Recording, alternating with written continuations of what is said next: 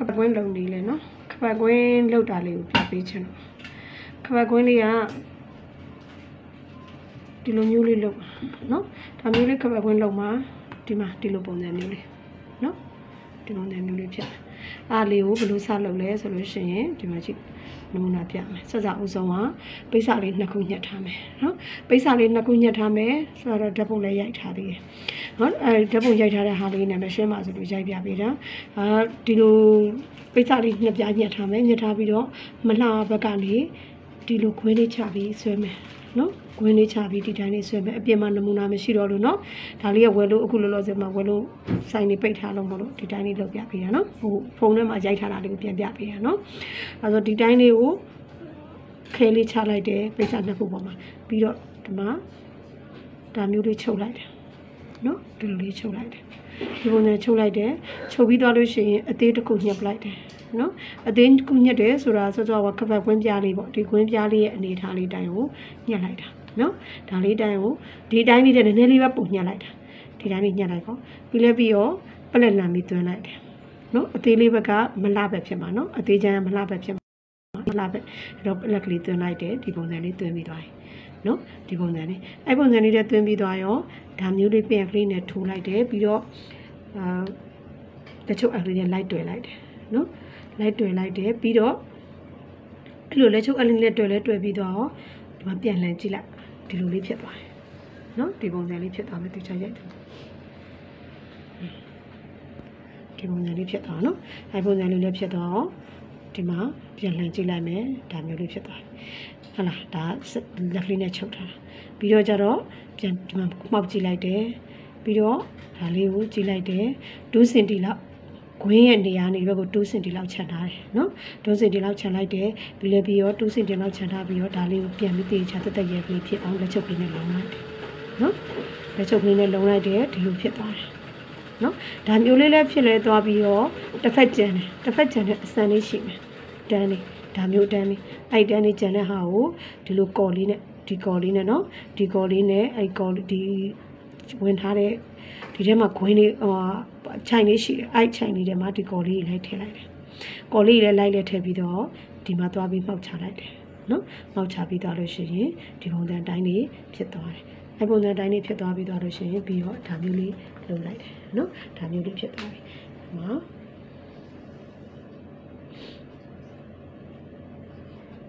လေးနော်ဒီပုံစံလေးဒါလေးကခဲချပြီးသားပြီဒီလိုလေးချုပ်လိုက်တယ်ချုပ်ပြီးတော့ဒါမျိုးလေးလောက်ထားတယ်ပြီးတော့ဒီလိုမျိုးလေးချုပ်တယ်ချုပ်ပြီးဒါမျိုးချုပ်တယ်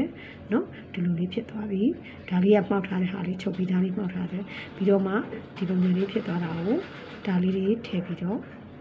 နော်ဒီလိုကော်လေးထည့်ပြီးညှက်လိုက်တာဒီတိုင်းလေးဖိနေလိုက်တယ်နော်အဲ့ပုံစံလေးဖြစ်သွားတယ်အဲ့တိုင်းလေးလုပ်ကြည့်ပါကပတ်ကွဲလေးတွေကိုလေအဲဆိုသူ့သားနဲ့သူလှ ဒီနေ့ကညက်ကြီးချုပ်ကြီးမပြတော့ဘူးဒီနေ့ကဇာလေးကိုအမကိုနှစ်ထပ်ကိုဘယ်လိုချုပ်ရလဲဆိုတော့မေးထားတယ်ညီမလေးတို့အမကဇာလေးကိုဘယ်လိုနှစ်ထပ်ခံလဲဆိုရင်အမတို့ကဒါကနောက်ချမ်းနော်နောက်ချမ်းကရှေ့ချမ်းထဲတလက်မလေးကခောက်ဆောင်နော်တလက်မခောက်ဆောင်ချန်ထားရတယ်နော်တလက်မခောက်ဆောင်ချန်ကဒါရှေ့ဒါကနောက်ချမ်းဒါကနောက်ချမ်းဒါကရှေ့ချမ်းဟုတ်ပြီနော်ဒါကရှေ့ချမ်းဒီခောက်ကြောင်းနဲ့အမတို့နောက်စင်းနဲ့ချုပ်ပါဆိုတဲ့ဒီနောက်ချုံတလက်မချန်ထားပြီးတော့ညှက်ထားတယ်နော်ဒါနောက်စစ်စာလေးဒီလိုချန်ပြီးညှက်ထားတယ်ဒါပေမဲ့အမတို့ကခံအောင်မလို့ဒီလိုလေး ဒီလိုလေးဖြန့်တာနော်ဒါနောက်ချမ်းရှေ့ချမ်းညှက်ပြီးသွားပြီဆိုရင်အမအစအောက်ခံထဲပုံထည့်ပြီးပြမယ်နော်နောက်ချမ်းလေးအစပြမယ်နော်နောက်ချမ်းကမတော့ဒီမှာလာပြီနော်နောက်ချမ်းလေးကိုညှက်မယ်ဆိုရင်အမဘယ်လိုညှက်မလဲဆိုရင်သူ့ရဲ့နောက်ချမ်းတက်လက်မလေးကိုဖြန့်ထားတယ်ဒီနောက်ချမ်းလေးကိုဖြန့်ထားတယ်ဖြန့်ထားပြီးတော့သူ့ရဲ့နောက်ချမ်းတိုင်းကိုဒီလိုလေးချမယ်နော်ဒီလိုလေးချမယ်ဒီလိုလေးချပြီးတော့ဒီရဲ့အောက်အကြက ဘယ်နှလက်မအောင်ယူမလဲဆိုရင်မတို့ကနောက်ချမ်းဆိုတော့ဘောလီဒီပိုင်းမပေါ်တော့မပေါ်တဲ့တည်းဒီခုံးထိပ်ကနေပြီးတော့ကိုးလက်မချမယ်ပခုံးထိပ်ကနေကိုးလက်မချမယ်နော်ဒီဒီဒီထိပ်ကနေကိုးလက်မချတယ်ဟုတ်ပြီနော်ဒါကခောက်ထားကိုးလက်မချတယ်ကိုးလက်မချတယ်ဒီကနေဘယ်လောက်ချတော့ဆိုရင်6လက်မချတယ်နော်ဒီကနေဒီချက်ပခုံးကနေ6လက်မချတယ်ဒီထိပ်ကနေပြီးတော့9လက်မချတယ်ချပြီးတော့ဒီလိုလေးညှက်ထားနေပါတော့နော်ဒီလိုလေးညှက်လိုက်ဒီပုံစံတိုင်းညှက်လိုက်တယ်ညှက်ပြီးပြီဆိုရင်ဒါနောက်ချက်နော်ညှက်ပြီးသွားပြီဆိုရင်မတော့ဒီထိပ်လေးကိုနော်ဒီထိပ်လေးကိုကင်းချလိုက်ကြတယ် ကင်းချလိုက်ပြီးပြန်ခောက်ထားတာနော်ပြန်ခောက်ထားတာဆိုရင်မတော့ဒီမှာဆိုရင်9လက်မခွဲတော့ဖြစ်သွားမယ်နော်အဲ့ဒါအဲ့ဒါကိုကိုလမခွဲတော့ဖြစ်သွားမယ်နော်အဲ့တော့ဒီဟာလေးကိုကင်းချလိုက်ပြီးဒီလိုလေးခောက်ထားမယ်နော်ဟုတ်ပြီနော်ဒီလိုလေးခောက်ထားပြီးဒီလိုလေးညှက်ထားမယ်နော်ညှက်ထားပြီးရှေ့ချမ်းညက်မယ်ရှေ့ချမ်းဆိုရင်မှာကဒီမှာလေးကိုရှေ့ချမ်းပုံစံလေးနဲ့ခြောက်ခောက်ချောင်းလေးနဲ့ခြောက်မယ်ဒီမှာရှေ့ချမ်းလေးနဲ့နော်လွယ်လွယ်လေးပါဒါမဲ့ဟောပါလေအဲချုပ်ဆမရှိတဲ့တော့မေးထားတဲ့တော့မှာပြတာ ဒီလိုလေးယူမယ်ဒီမှာခောက်ချောင်းဆိုဒီမှာခောက်ချောင်းဒီလိုလေးလိုက်ညက်မယ်သူ့ပုံစံလိုက်ညက်မယ်ညက်ပြီးတော့မအားဘယ်လောက်ချမလဲဆိုသူကကြာရှေ့မှာဘောလီပါလာတယ်ဘောလီပါတဲ့အတွက်ဘောလီဂျိုးကြီးကိုဒီဘက်ကရင်ဘတ်အောင်နေပုံမှာကြောက်တဲ့ရင်ဘတ်အောင်ဆိုဘောလီကထက်ကိုဘောလေးရဲ့အောက်ကိုတအားကြမှာကြောက်တဲ့အတွက်ဒီကိုဘယ်လောက်ချထားလဲဆိုတော့မတို့ကဒီကနေရှစ်လက်မပဲချထားတယ်ရှေ့ချမ်းကျရှစ်လက်မဖြစ်သွားတယ်နော်နောက်ချမ်းကျ၉လက်မနော်ရှေ့နောက်ချမ်းကျတော့ရင်မရှိတဲ့အတွက်၉လက်မရှေ့ချမ်းကရှစ်လက်မရှိသွားတယ်နော်ရှစ်လက်မချတယ်ရှစ်လက်မချပြီးဒီကနေမှ၄ခွက်လောက်ပဲချတယ်လေးလက်မ လေးလက်မ၄ခွက်လောက်ပဲချတယ်နော်ဒီကနေဒီကနေလေးလက်မနဲ့၄ခွက်လောက်ချတယ်ဒီကနေရှစ်လက်မလောက်ချတယ်နော်အဲ့လောက်ပဲချတယ်ဒီထက်ပိန်နေဆိုရင်တော့ဒီလောက်ဒီထက်ရှော့ရှော့ပြီးချမယ်နော်ဒီအရှိကအဓိကပဲအနောက်ကတော့ရင်ဘတ်နောက်ကျောကို high ချင်တယ်လို့ high လို့ရတယ်ရှေ့ချမ်းကじゃဒီနားလေးကနေဘောလီဂျိုးလေးလာမယ်ဆိုဒီနားမှာဘောလီရဲ့ထိတ်ကဂွင်းလေးတွေပေါ်ပြီးတော့မလာအောင်နော်ရင်အုံအဆက်ကိုတွားရောက်သွားတယ် အဲ့ဒါပြောဒါလေးကိုဒီလိုခုံခုံလေးနဲ့မတို့ကဒီမှာ၄ခွဲဆင်းမယ်ဒီကနေ၈လက်မဆင်းထားတယ်၄ခွဲနဲ့၈လက်မအောင်ဒီလိုဝဝလေးနဲ့ဒီမှာညှက်ထားတယ်နော်ဟုတ်ပြီနော်ဒါရှေ့ချမ်းကိုညှက်ထားတယ်ညှက်ထားဆိုတော့မတို့ကော့ကတ်ပြမယ်ကော့ကတ်ပြမယ်ဆိုတော့ဒါလေးကိုမတို့ကတက်ကြီးရလေးထစ်ပြီးတော့ဒီမှာခင်းချီလေးလိုက်ပြီးတော့၄စိတ်ခောက်ထားတယ်နော်ဟုတ်ပြီနော်ထိတ်လေးကိုဝဝလေးလိုက်မယ်နော်ခောက်ထားတယ်ခောက်ထားပြီးတော့ဒါလေးကိုဖြန့်လိုက်မယ်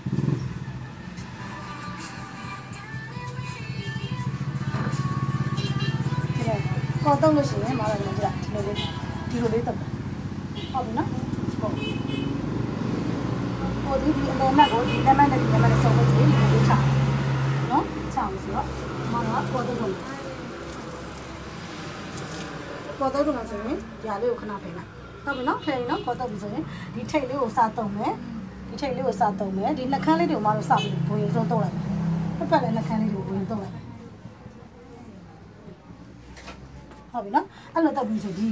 ဒေါင်းဒေါင်းလောက်ကြဒီအလဲတက်တဲ့ကိုထပ်တော့နော်အလဲတက်တဲ့ထပ်ပြီးဒီဒေါင်းလောက်ကြမဲ့နေရာနာကိုကိုကဒေါင်းလောက်နေရာနာအများကြီးပပတ်လုံးမတုံနဲ့တော့ပပတ်လည်းတုတ်တယ်ဆိုရင်ရှော်နေအောင်မှချက်ချင်းဝတ်လို့မရအောင်နော်ပပတ်လည်းတုတ်ပြီးဆိုတော့လောက်ဖြစ်နေတယ်အဲ့ဒါခါကျတော့မတော်ကပပတ်လည်းမထည့်ဘူးဒီဒေါင်းလောက်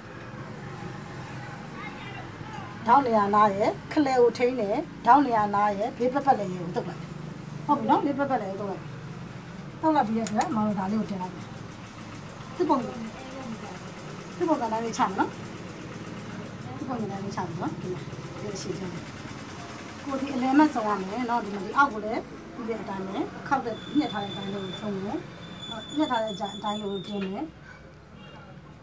ဒါလေးဒါလေးရဒါလေးရပြီပေါ်လို့မလာဘူးဘူးဆိုပေါ်လို့နည်းနည်းချင်းလိုက်ဟုတ်ပြီနော်စားလေးရပေါ်အလေးကိုထိလိုက်မယ် ထိပြီးဆိုရင်ဓာတ်မြန်လာလိုက်ဓာတ်မြန်မှာတော့တက်လို့ကောင်းတယ်နော်စားအောင်ချက်မီးကျွန်းတော့မှာဆိုတော့ဓာတ်မြန်ကိုလာလိုက်မယ်ဟုတ်ပြီနော်ဒီကောင်အဲ့ဒါဖရာလေးတွေကိုဒီလိုဒီလာနာလိုက်တာဘေးပပတ်လေးကိုကော်စတုံမယ်ဘေးပပတ်လေးကော်စတုံပြီးတော့မှဒေါင်းအလဲအလဲဒီအလဲကိုကော်တုံမယ်နောက်ပြီးတော့ဒီဒေါင်းနေရာမှာကော်တုံမယ်ဟုတ်ပြီနော်ဒေါင်းနေရာလောက်မှန်းပြီးတော့ကော်တုံမယ်အများကြီးတုံးစရာမလိုဘူးတစ်ခုနှစ်ခုသုံးခုနဲ့ပပတ်လေးပဲနော်သုံးနေရာနဲ့ပပတ်လေးပဲတုံးလိုက်ပြီဒါလေးပဲဒါလေးပြီးသွားပြီဆိုမှတော့ဒီ အလဲလေးကိုပြန်ပြီးတော့ဒီလိုလေးလုပ်လိုက်ဒီအလဲညီလားမညီလားကြည့်ဟုတ်ပြီညီသွားပြီဒီလိုဒီလိုညီနေရမယ်နော်ညီသွားပြီဆိုရင်ဒီကနေမှတော့ဘယ်လောက်ဆင်းလဲတောက်ကတောက်ကဘယ်လောက်ဆင်းလဲဆိုရင်17လက်မဆင်းတယ်နော်360အဲ့လိုတောက်လေးမှတ်မယ်နော်ဒီကတစ်ခါလေးပြလိုက်မယ်နော်ဒီကဒီကနေ17လက်မဆင်းတယ်17လက်မဆင်းပြီးတော့သူကရင်နည်းနည်းကျင်တဲ့အတွက်ရင်နည်းနည်းကျင်တဲ့အတွက်မှတော့4လက်မလောက်ပြီးတော့သူကနည်းနည်းဝါရနော်ဝါရတဲ့အတွက်မှ4လက်မယူလိုက်တယ် ဒီလက်မယူရပြီးဆွဲပြီးတော့ဒီခါတင်လေးမှာသူကခရင်လေးဆိုခါတင်လေးမှာတင်တာနော်အဲ့ဒါလေးမှာဒီလိုလေးဆွဲနေတယ်နော်တော့လေးပြန်ဆွဲလိုက်ကြပါနော်တော့ကိုဟိုတချို့ကြလည်းတက်တက်စီချုပ်တယ်ဇာမှာလည်းချုပ်တယ်ဒီအစမှာလည်းချုပ်တယ်အမကတွဲတွဲချုံကြီးကိုပြလိုက်မယ်နော်တွဲချုံကြီးကဒီလိုလေးချုပ်လိုက်မှာဒီ white dot တွေမလို့တော့ဘူးဒီမှာကြဒီဟာခုံးနေပြီဆိုတော့ဒီတိုင်းလေးပဲဟုတ်ပြီနော်ရှေ့တောက်နောက်တောက်အဲ့လိုလေးထည့်ပြီးရင်ဒါရှေ့ချမ်းရသွားပြီနော်ဒါရှေ့ချမ်းရသွားပြီဆိုတော့ဒါလေးရှေ့ချမ်းရသွားပြီနော်နောက်ချမ်းလာထပ်နောက်ချမ်းကြမှာတော့က တလက်မနော်ရှေ့ချမ်းတဲ့နောက်ချမ်းဒီမှာဇစ်စာတလက်မတော့ခြံထားရနော်ခြံထားတဲ့မှာတော့နောက်ချမ်းလေးကိုလေးလေးတိုင်တယ်တိုက်ပြီးတော့မှဒီမှာဒါလေးနဲ့ခုနကဟာလေးနော်ဟုတ်နော်ဒီလိုလေးဒီလိုဒီလိုလေးယူပါနော်ဒီလိုလေးယူပါဆိုတော့ဒါလေးကိုကော်ထည့်မယ်နော်မပြောတယ်ပဲဒီမှာဒါလေးလှန်လိုက်လှန်ပြီးဆိုရင်ဒီကနေဘေးပက်ပက်လေးဘေးပက်ပက်လေးကိုပဲအကုန်လိုက်ချိန်မယ် နော်ဘေးပက်ပက်ဘေးပက်လေးကိုကော်ထည့်ပြီးပါကော်ထည့်ပြီးပါပြီဆိုရင်ဒီအလေထောက်လေးလက်မလောက်ပါတစ်ချက်ဒါလေးပဲနော်အများကြီးမလို့ဒါလေးပဲဒါလေးကိုမမတို့ဒါလေးပြန်တင်မယ်စာလေးပြန်တယ်မယ်နော်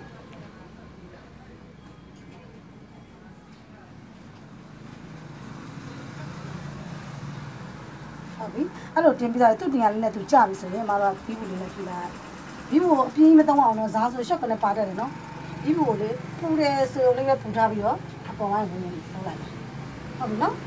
ဒီလေးကတ်လိုက်နော်ကတ်ပြီးပြီဆိုမှပြောင်းနေတစ်ခါပြန်မယ်ပြောင်းပြန်ကြရင်ကိုတိုက်လို့ရတာဒီအစဒီအကျန်းရတယ်နော်ဒီအစဒီအကျန်းရတဲ့အတွက်အကျန်းကိုဒီအကျန်းတိုက်ရတယ်ဇားဘောကိုအကျန်းတိုက်လို့မရအောင်နော်ရတယ်ဒါလေးနော်ဒီလိုပြီးသွားပြီဆိုရင်အမတို့နောက်ချမ်းကဘယ်လောက်လဲနောက်ချမ်းကဆယ်လက်မနော် ဆယ်လက်မရဲ့ဒီမှာကတစ်လက်မခြံထားတယ်အမတို့ကဒါကတစ်လက်မပြီတစ်လက်မပြီဒါကစစ်စစ်စာနော်ဒါစစ်စာခြံထားတယ်စစ်စာခြံထားတဲ့အတွက်ဒီကနေလေးလက်မဟုတ်ပြီနော်ဒီကနေဆယ်လက်မလေးလက်မကိုမှတ်မယ်မှတ်ပြီးတော့ဒီမှာခါအသိရင်ဒီမှာဟုတ်ပြီနော်အဲ့တော့၄စိတ်၄စိတ် လေးစသူကဝိုင်းတော့တယ်မထည့်တော့ဘာလို့ဆိုအပေါ်မှာဇာပွားပွားလေးမှာသွားပြီးတော့ပေါ်မှာကြောက်ရင်ကန်နဲ့တက်တက်ချုံမယ်ဆိုရင်တော့တောက်တယ်အကုန်ဝိုင်းတော့တယ်ပဲထည့်နော်ဟုတ်ပြီဒီမှာဒီလိုခောက်လိုက်လို့ရှိရင်ထားတော့ချမ်းအဲ့တော့ဒါလည်းနောက်ချမ်းနောက်ချမ်းနှစ်ခုရသွားပြီနောက်ချမ်းနှစ်ခုကိုမှတော့ပြန်တိုင်းကြည့်မယ်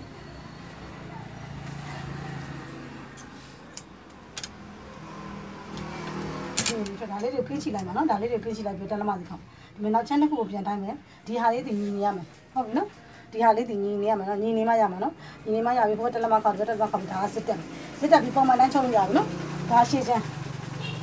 ရှေ့ချမ်းလည်းအမတို့ကအခုဒီလိုလေးကတ်ထားတယ်ဒီလိုလေးကတ်ထားပြီးတော့ level လေးကိုအမတို့ပခုံးဆက်ပြီးတော့ဓာတ်တွေချုပ်မယ်ပခုံးဆက်ပြီးပြီဆိုရင်ဒီနားလေးတွေအကုန်ပြီးသွားပြီဆိုအောက်တွေခောက်ပြီးတော့ဆိုလက်ချုပ်နိုင်ဘူးလို့လိုက်ရမယ်ဒီနားလေးမှာလက်ချုပ်လိုက်ရမယ် ဒီနားလေးမှာလက်ချုပ်လိုက်တယ်ဆိုတာအမတို့ဒီလို12မိနစ်ပြင်တယ်ပုံမှာဆက်ကြီးမြင်သွားမယ်အဲ့တော့ဒီနားလေးကိုလက်လက်ချုပ်လိုက်ရင်ဇာလေးပါနည်းနည်းပအောင်တွဲပြီးလိုက်လက်ချုပ်လေးတွေလိုက်လက်ချုပ်လေးတွေလိုက်ပြီးဇာလေးပါနည်းနည်းတွဲလိုက်လိုက်လို့ရှိရင်ရှော်လဲအောက်ပြုတ်မကြတော့ဘူးเนาะဟုတ်ပြီเนาะအဲ့တော့အမဒီဇာလေးနဲ့ကတ်တာလေးချုပ်နီးရတော့အကောင်လုံးတည်ပြီးသွားပြီเนาะဒီဇာကတ်တာလေးဒီလိုလေးပဲကတ်အများကြီးခေါ်ရအများကြီးမာတောက်တော့မကတ်ရအောင်เนาะဟုတ်ပြီเนาะမသိဟိုဟာနှစ်ထပ်ပေါ့နော်ဒီလိုကတ်နီးလေးနဲ့ချုပ်ချင်တယ်ညီမလေးမေးထားတယ်ညီမလေးနော်အဲ့လိုလေး ကဲရပါတယ်ရင်ကဒီအောက်ကိုအရင်မချပါနဲ့အရင်ချလိုက်လို့ရှိရင်ဒီနားမှာဘောလီပေါ်နေလိမ့်မယ်နော်ဘောလီမပေါ်အောင်လို့ဒီနားလေးကနေဘောလီဆက်နာအောင်ကနေအမတို့ဘယ်လောက်ချလို့ဒီကနေလေးလက်မချတယ်ဒီကနေရှစ်လက်မချတယ်နော်ရှစ်လက်မချတယ်လေးလက်မချရတာပြောဒီလက်မဝက်လေးတွေခောက်လိုက်တဲ့အတွက်ဒီမှာလေးခွက်ဖြစ်သွားမယ်ဒီမှာကရှစ်ခွက်ဖြစ်သွားမယ်နော်အဲကျေးဇူးတင်ပါတယ်နော်အဲ့လိုလေးချုပ်ရတာနော်ချုပ်နီးလက်ပြတော့ကတ်နီးလေးကိုပြလိုက်ရနော်ဒီလိုလေးဖြစ်သွားမယ်နော်ကွာထက်ထက်ပြီးတိုက်ရမယ်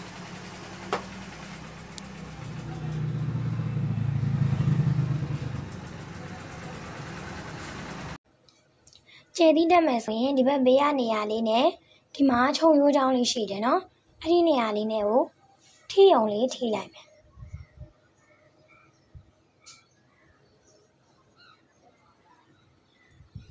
ပင်ရနဲ့ထိုးမယ်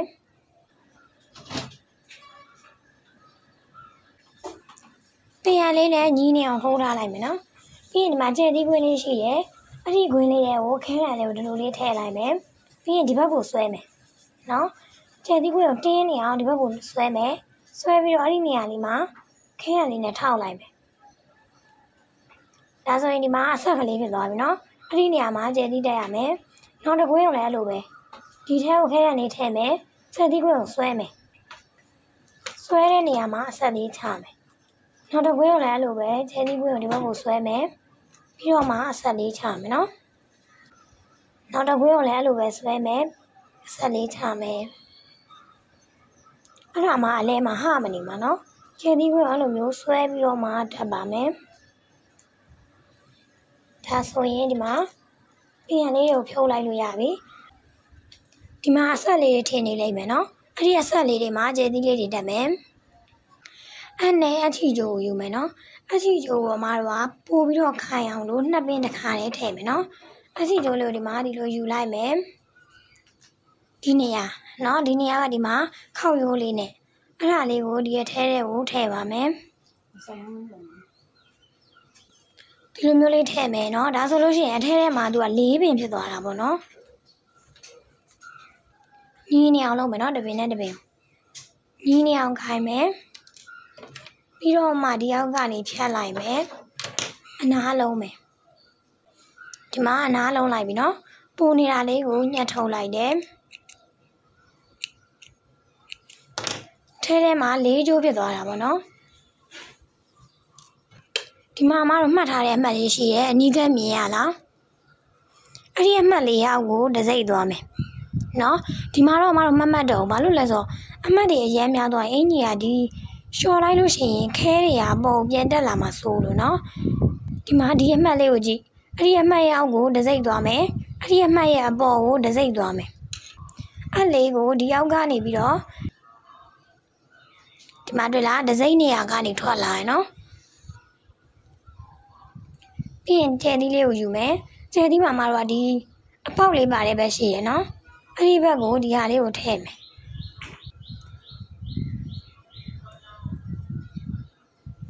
ဒါမျိုးဖြစ်နေမယ်ပြီးရင်ဒီအမှတ်เนาะဒီအမှတ်လေးရဲ့အပေါ်အတပေါင်းစာနေရာကိုထိုးလိုက်မယ်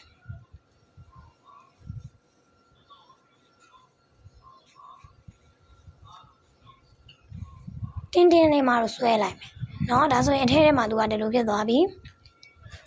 ပြီးရင်မတို့ဒီဘက်မှာဆောင်းတာထိုးထားတဲ့နေရာလေးကနေပဲပြန်ထိုးမယ်နှစ်ချက်သုံးချက်ချုပ်ပေးရမှာနေနော်ပြန်ထိုးမယ်ပြီးရင်ပေါက်ထဲကိုပြန်ထည့်မယ်မတို့ထိုးထားတဲ့နေရာကိုပဲပြန်သွားမယ်ပြီးရင်နောက်တစ်ချက်ပြန်သွားမယ်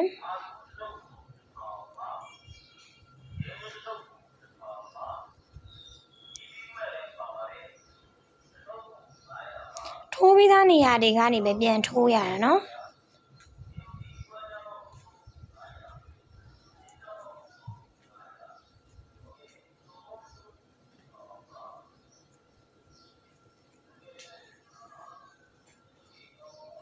ဒါဆိုရင်ကျဲသီးလေးကခိုင်သွားပြီလှုပ်တော့မလှုပ်တော့ဘူးเนาะ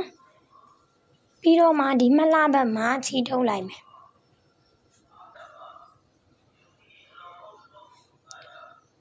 ကွင်းလေးတဲ့ကိုနှစ်ချက်ထည့်မယ်ပြီးရင်ဒီမှာဆွဲလိုက်မယ်ဒါဆိုရင်ချီထုတ်ပြီးသားဖြစ်သွားပြီပြီးရင်နောက်တစ်ချက်အဲ့လိုမျိုးလေးထပ်လုပ်မယ်သူ့လည်းလိုပဲကွင်းလေးတဲ့ကိုနှစ်ချက်ထည့်မယ်ချိန်ထုတ်လိုက်မယ်နော်ပြီးရင်ဒီကနေဖြတ်လိုက်ပါမယ်မလားဘက်မှာဒါမျိုးအလားဘက်မှာဒါမျိုးလေးအဲ့တော့ဒီမှာကြည့်မတို့ ခြေသီးအားလုံးကိုအဲ့လိုမျိုးလေးမတို့ကတက်လိုက်လေနော်ပြီးရင်ဂွင်းလေးတွေလိုက်ပြီးတက်မယ်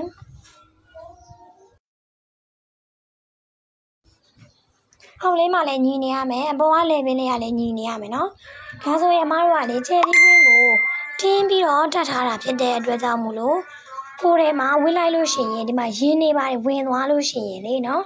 ဒီမှာဟာတာတွေပါလုံးဝမဖြစ်တော့တင်းတင်းရင်းလေးနဲ့အရန်ဟိုမှာလှတယ်ပေါ့နော် ခြေသီးလေးတက်အမတို့ကအဲ့လိုမျိုးလေးတက်ပါမယ်